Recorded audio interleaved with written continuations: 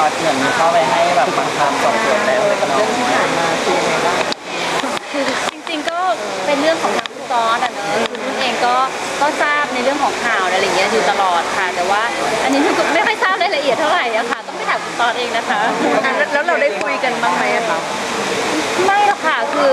อย่างสมมตินุ่นอ่านุ่นเป็นนักแสดงคุณตอนเขาก็ไม่ได้เข้ามายุ่งในเรื่องของการเป็นนักแสดงเขาก็ให้สิทธิ์ในการทำงานนุ่นเต็มที่ อันนี้ก็เหมือนกันค่ะเหมือนกันก็เรา ก็ให้สิทธิ์ในการทำงานของเขาเต็มที่ค่ะ เขาไม่แบบเครียดแบบถึงขั้นมาปรึกษาเรา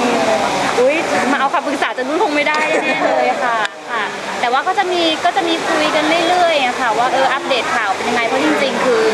เอ่อสื่อต่างๆ ก็เสนอข่าวมาอยู่แล้วอะค่ะ แต่ว่าก็ข้อดีอย่างหนึงที่ว่าก็ทำให้ให้เราเนี่ยรู้กฎหมายมากขึ้นอย่างเงี้ยค่ะยังแสดงว่าต่อก็คือค่อนข้างเครียดด้วยไม่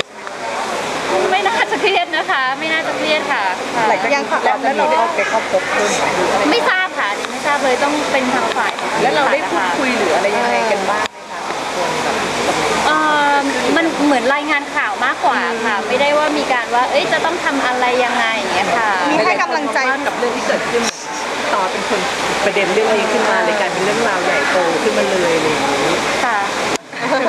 นุ่นคะแต่มันมันแต่บางคนก็มองว่าแบบเออแต่ตอนแรกแบบที่ตอนเริ่มแล้วตอนนี้มาโดนเองอะไรอย่างเงี้ยค่ะ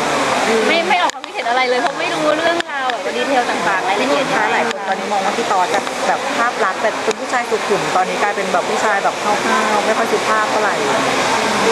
ไม่อันนี้ไม่ทราบแล้วแต่คนมองค่ะ แล้วแต่คนมองคือ ผู้ชายก็เป็นผู้ชายอะเนอะค่ะ ส่วนตัวพี่ตอนผู้หญิงเองเรายังมีหลายบทบาทยังมีแบบหลายมุมอะไรเงี้ยค่ะนึกว่าเป็นเรื่องปกติ อันนี้ก็ปล่อยให้เป็นเรื่องของธุรกิจดีกว่าค่ะสำหรับเรามีโดนเรียกเข้าไปด้วยไหมคะไม่มีค่ะค่ะ คือเราไม่ได้มีภาพที่ไปจับขวดหรืออะไร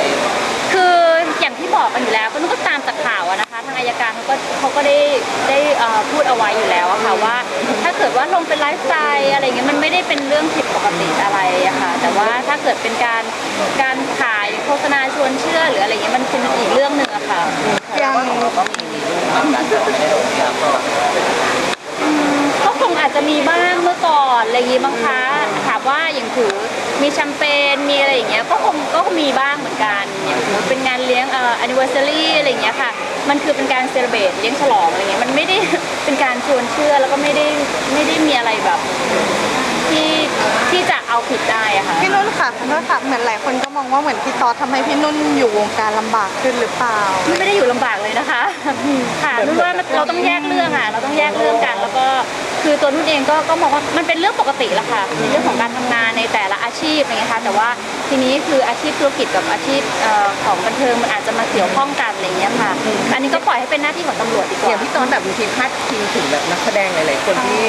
หลายๆคนอะไรเงี้ยมันจะทำให้เราแบบมีปัญหากับคนนั้นไหมเวลาร่วมงานกันหรือเจอหน้ากันหรืออะไรเงี้ยไม่ไม่น่าจะมีนะคะไม่น่าจะมี พี่นุ่นคะอย่างเรื่องนี้ส่งผลกระทบกับภาพลักษณ์พี่ตอนบ้างไหมคะว่าถึงเรื่องแบบภาพลักษณ์ผู้บริหาร เขาก็เป็นผู้บริหารเขาก็ทำหน้าที่ของผู้บริหารนะคะ มีกระทบแบบว่าไม่ทราบอันนี้ก็ต้องแล้วแล้วแต่คนมองอะค่ะ เรื่องนี้เป็นห่วงเรื่องนี้บ้างไหมคะเป็นห่วงกับเขาไหมคะเรื่องนี้คือนุ่นมองว่าการทำงานมันก็เป็นเรื่องปกติอะนะคะ ก็อย่างที่บอกว่าก็เรื่องของคุณตอสก็ต้องปล่อยให้คุณตอสเขาเป็นคนคนจัดการเป็นเรื่องของบริษัทไม่ได้เกี่ยวกับนุ่นนะคะ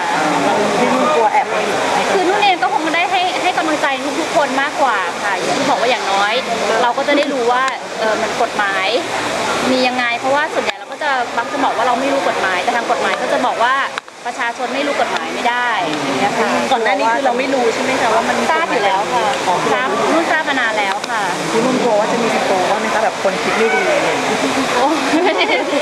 ไม่อะค่ะ ค่ะนุ่นก็ทำงานของนุ่นไปอะค่ะ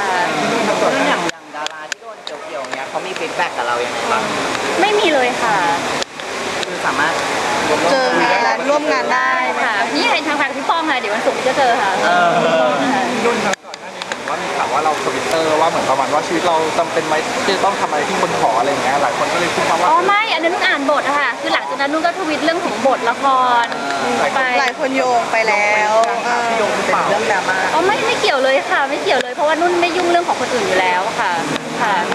ทางฝั่งพี่โยงมีมาแบบถามไหมครับว่าแบบเฮ้ยหมายถึงเราหรือเปล่าไม่มี เลยค่ะเนี่ยเป็นคนแรกที่ถามเนี่ย